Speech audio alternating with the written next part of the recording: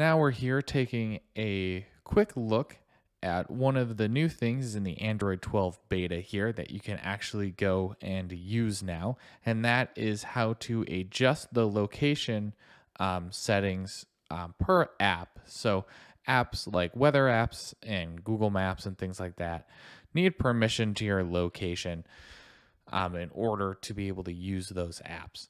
But now, with the Android 12 beta, you can adjust it so some apps, whichever ones you prefer, can only get an approximate location for your um, approximate location for you. So not your exact location, but kind of in the neighborhood of where you are.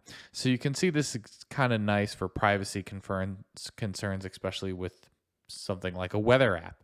A weather app doesn't need to know your exact location where you are with your phone right now. It just needs to know kind of the area that you're in. So to go ahead and adjust this per app, you want to go into your settings by going into the uh, notification screen here and swiping all the way down and tapping on the gear in the bottom right. Then you want to go to privacy permission manager. And here are all of the types of permissions apps can ask for. We're going to go to location.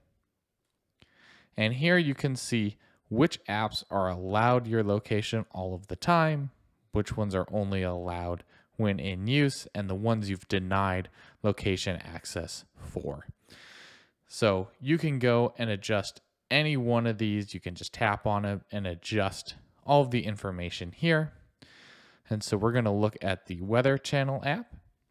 And as you can see, I can allow it all the time, but I don't need it to have it all the time, only when I open the app. So I'm going to leave it there. But what we're looking at here, what's new, um, all this can be done before in previous versions of Android, but what's new is the use precise location.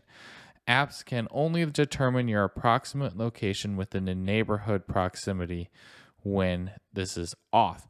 So right now it is grabbing my exact location, but I can go ahead and just switch that off. And just like that, the weather um, channel app, as an example here, can now only see my approximate location um, within the neighborhood, but not my actual location and where I actually am. And so you can go and do that for any of the apps that have um, location turned on. Or maybe there's one you've denied in the past, but this makes you feel a little safer by going and turning that on now. Um, if you want to, you can go ahead and adjust it for any app, kind of just like that. So you can see how this can be helpful for privacy concerns. Um, other things to think about is things like maps you probably want to have the precise location on um, for turn by turn guidance and stuff like that, or else it won't work as well.